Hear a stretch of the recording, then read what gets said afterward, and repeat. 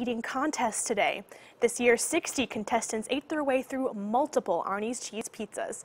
News 18's Micah Upshaw is live with the winner. Micah, tell us what's going on.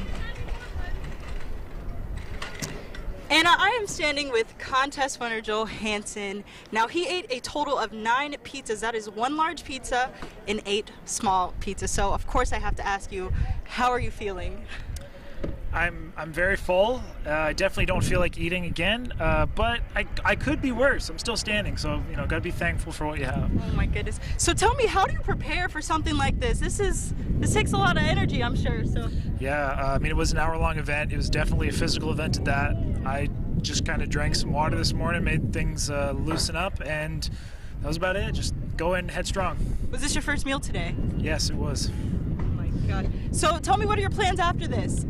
Uh, I am gonna go on a really long drive. I'm gonna be digesting this food, that's for sure, and I will not be eating anything tonight. yes. Oh my gosh. Well, I have to mention that he's actually from Canada, so he's got a, a little bit of a drive home, and he is not only leaving with $1,000, which is the the prize, he is also leaving with a very full stomach. So, now back to the desk. I'm reporting live in Lafayette. Micah Upshaw, News 18.